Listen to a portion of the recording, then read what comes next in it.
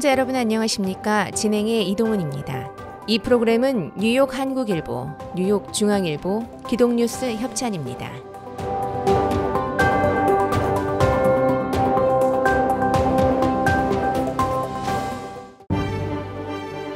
성탄절 연휴를 앞두고 10년에 한 번 올까 말까 한 거대한 겨울 폭풍 폭탄 사이클론이 뉴욕 일원을 강타하면서 교통 대란이 빚어지고 있습니다. 22일 오전부터 뉴욕 일원이 겨울 폭풍 영향권에 들면서 항공편 지연이나 결항이 잇따르고 있습니다.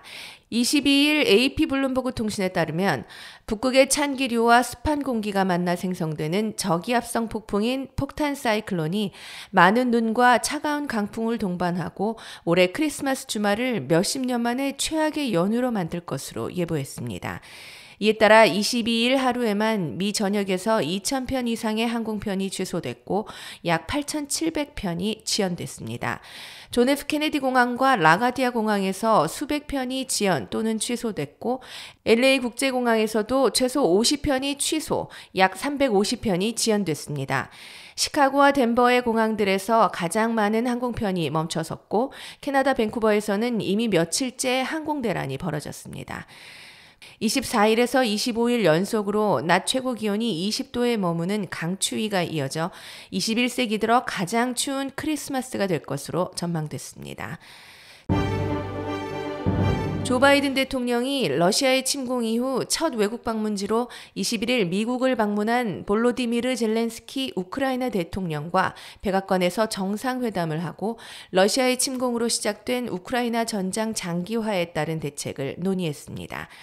바이든 대통령은 이어 젤렌스키 대통령과 공동 기자회견을 열고 미국은 러시아의 침공이 이어지는 한 우크라이나에 대한 지원을 지속할 것이라며 우크라이나에 대한 185억 달러 규모의 추가 군사 지원 방침을 밝혔습니다. 이는 미국이 지금껏 우크라이나에 지원한 것 가운데 단일 지원으로는 가장 큰 규모입니다. 젤렌스키 대통령은 패트리엇 미사일 지원은 방공 능력을 강화하는 데 핵심적 조치가 될 것이라면서 이는 우크라이나 상공을 지키는 데 있어 매우 중요한 수단이며 우리 영토를 지킬 수 있는 유일한 방법이라고 말했습니다. 뉴욕 기독교 방송이 노아의 방주와 창조 박물관 탐사 여행을 계획하고 참가자를 모집하고 있습니다. 여행 코스는 뉴욕, 켄터키 노아의 방주, 창조 박물관, 아미시 마을, 뉴욕입니다. 미국 켄터키 윌리엄스타운에 있는 노아의 방주는 실물 크기의 거대한 방주 건축물로 정교하고 전문적인 작품입니다.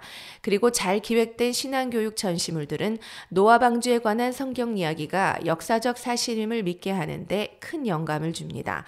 사장 문석진 목사는 노아방주는 성경에 기초한 창조 신앙을 지키기 위해 창조 과학자들이 만든 시대의 걸작품이라며 영어로 표기되어 있는 모든 박물관 전시물들은 대부분 한글로 번역했고 이번 여행은 문 목사가 직접 가이드하며 이동 중에는 개별 가이드 청취 이어폰을 사용하여 전시물을 관람하며 설명을 들을 수 있어 매우 유익하고 편리한 탐사 여행이 될 것이라고 밝혔습니다.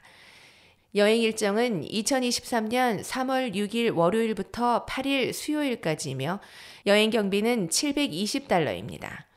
모집 인원은 48명이며 내년 2월 6일까지 선착순 마감하여 인원이 차면 조기에 마감될 수 있습니다. 에릭 아담스 뉴욕시장이 크리스마스와 연말 휴가철을 맞아 마스크 착용을 강력 권고하고 나섰습니다. 아담스 시장과 애시윈 바산 시 보건국장은 20일 코로나19 바이러스와 독감 바이러스, 호흡기 세포 융합 바이러스 등 세 개의 바이러스가 동시에 유행하는 tridemic이 현실화되고 있다면서 여행과 모임이 잦은 연말 휴가철을 맞아 보다 철저한 마스크 착용이 필요하다고 강조했습니다. 실내는 물론 붐비는 야외에서도 마스크 착용이 필요하고 특히 호흡기 질환 합병증 위험이 높은 65세 이상 및 면역력이 약한 어린이와 노약자들은 반드시 마스크를 착용해야 한다고 덧붙였습니다. 지금까지 제작 김기훈, 진행의 이동훈입니다. 시청해주신 여러분 대단히 감사합니다.